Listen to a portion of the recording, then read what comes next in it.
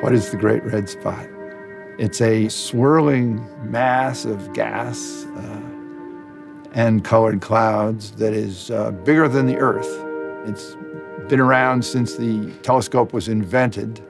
Um, maybe it's much older than that, even. People sometimes call it a hurricane, but it's probably different from a hurricane in the way it works.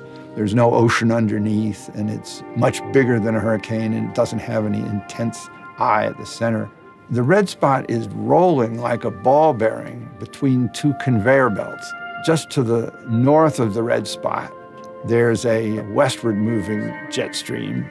And just to the south of the red spot, there's an eastward moving jet stream. Somehow the jet streams steady the red spot and keep it trapped at one latitude.